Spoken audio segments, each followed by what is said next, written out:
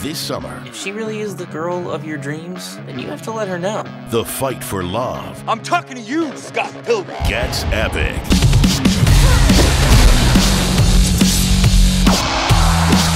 From the director of Shaun of the Dead, Step up your game, Scott. Break out the L word.